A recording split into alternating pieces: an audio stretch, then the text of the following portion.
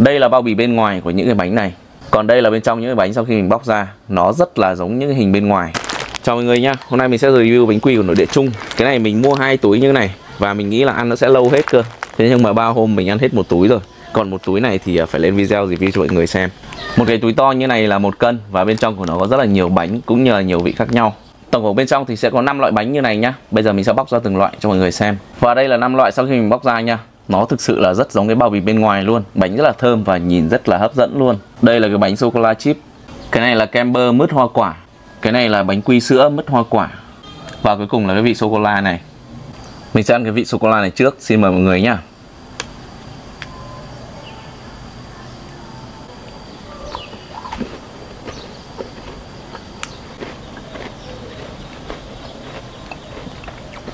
Vỏ bánh bên ngoài thì cực kỳ xốp mọi người nhé. Và cái nhân sô cô la bên trong ấy, nó chảy chảy ra. Ăn thích thực sự, mùi thơm nha. Uhm. cái này là sô cô la chip. Uhm. khi mình cắn vào thì cái sô cô la chip bên trong ấy, nó giòn giòn. Cái bánh thì rất là đẹp và ăn ngon. Ngon thực sự mọi người.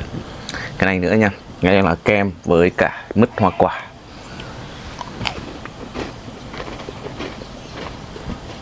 Uhm.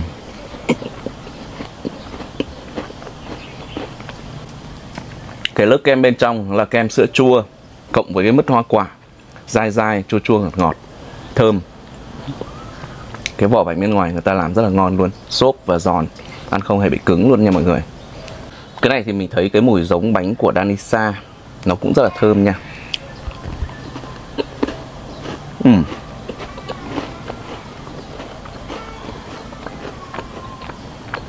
ăn mấy lần rồi, nhưng mà cả mấy cái bánh này đều ngon mọi người